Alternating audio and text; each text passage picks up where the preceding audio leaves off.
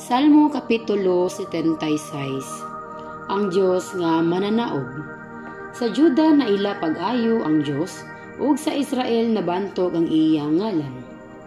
Anaa sa Jerusalem ang iyang Pinoy-anan, nagpuyo siya sa bukid sa Sion.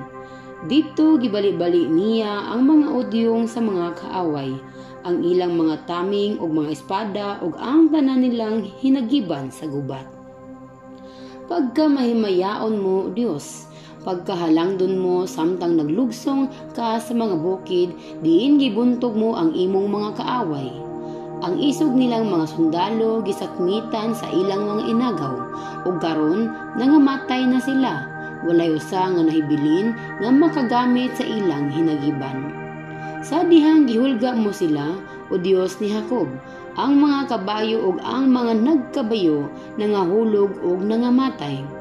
Apan ikaw o Ginoo, gikahadlukan pag-ayo sa mga tawo kinsay makatubangan kanimo kun mapungot ka.